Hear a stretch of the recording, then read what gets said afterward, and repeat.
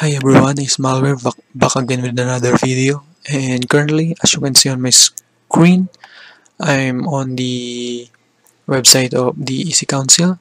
And like the video or the title of this video said I was able to I am going to review the certified ethical hacker practical exam. And as you can see on my screen I was able to complete the exam and pass it so I'm going to answer five questions and the five questions are this one.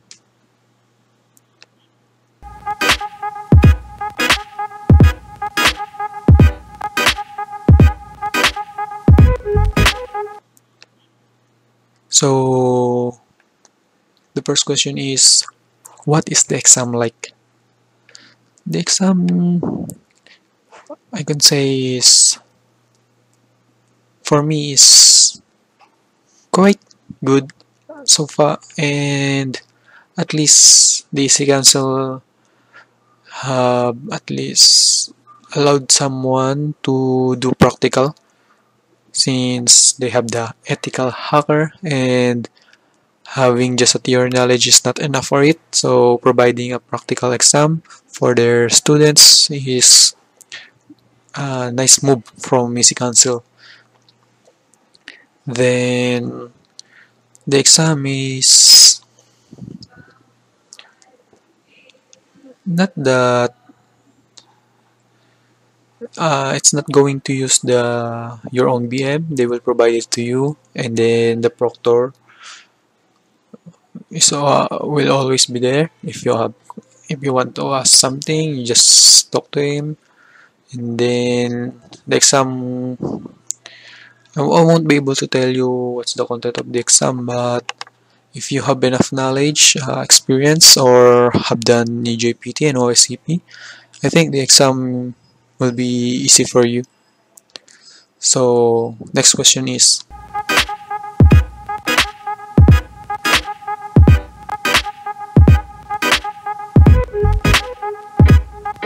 How hard is the exam? Oh, I already answered that one. But yeah, just like I said, if you have ex ex experience and have done EJPT from eLearn Security and OSCP from Offensive Security, I think the exam will be easy for you. The only concern for me is they're using browser-based, so expect the that sometimes it's a little bit laggy and slow that's what I encounter. Almost I'm I'm kinda angry about it because I have to sometimes wait 10 minutes for my system to how do you call this one? To stop loading. Hate it promise. If I'm going to request something from EC Council it would be it's better to allow their students to use their own VM rather than or their own machine rather than doing the browser based because that's the only concern about browser based. It's slow. But like it's but but the good thing about this one is the VM provided by the EC Council have all the tools you need for the exam. You just have to have the knowledge how to use it so the next question is this one.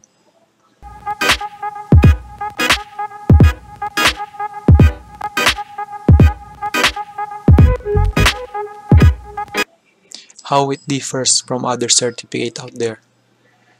So what I can say is certified ethical hacker is EJPT with the OSCP vibe. Why? Since the exam of the Certified Ethical Hacker Practical is the same as EJPT but with an added time limit of 6 hours and the proctor same as what the OSCP is doing.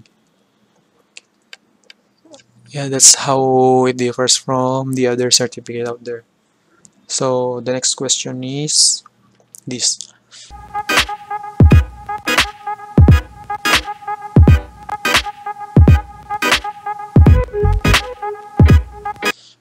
Should I take the CEH practical exam? okay this is one is for my point of view only. And what I'm going to say is this. CEH is widely known on DHR if you have this DHR will automatically know like the free ticket for an interview yeah that's how certified ethical hacker or EC Council is known. So if you want to get your foot on the on the door for the job I recommend the CEH practical exam. By the way that's not the only reason. If EC Council have not added the CEH practical exam I would not recommend it. Theory for the theory exam for me the CEH is quite expensive for just the theory. You could have taken EJPT from eLearn Security or CompTIA Security Plus for from CompTIA and they will provide you the same knowledge as what the certified certified ethical hacker theory and the practical if the theory CompTIA Security Plus can provide it to you if the practical EJPT can provide it to you but as of now certified ethical hacker or the EC Council certificates are widely known. Unlike EJPT, which is so far making their name, or the eLearn Security is making their name and starting to get widely known. So I and the EJPT is not that expensive, and they will, you could have tried it also. But since this is about certified ethical hacker review uh, I still recommend it taking it that one. If again if you want to get your foot on the door. And also and also if you have the money to take the training along with it. But if you want to take they don't take the training I think they you can buy their voucher. I don't know what's the price but I think it's around 500 dollars something USD yes uh, so that's what my opinion on should I take the CEH practical exam. So the next question and the last question that I'm going to answer is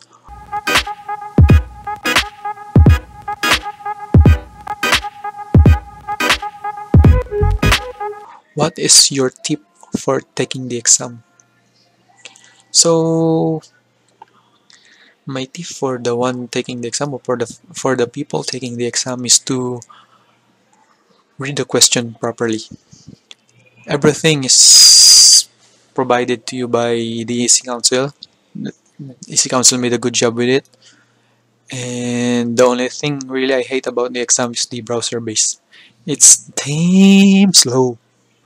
But aside from it what I'm going to tell you is be patient since like I said it's sometimes the browser base or the VM of the browser is slow. And then next is understand the question properly if you understand the question properly you could answer the exam easily or the question easily it is because the EC Council make it the exam as direct to the point. You you wouldn't have to um, make things hard. You just have to understand the question. That's it. So this is my review for the CEH exam and I hope I made a good review about it. And uh, for those person that's going to take the CEH exam I bid you good luck and you can do it. So bye bye and thank you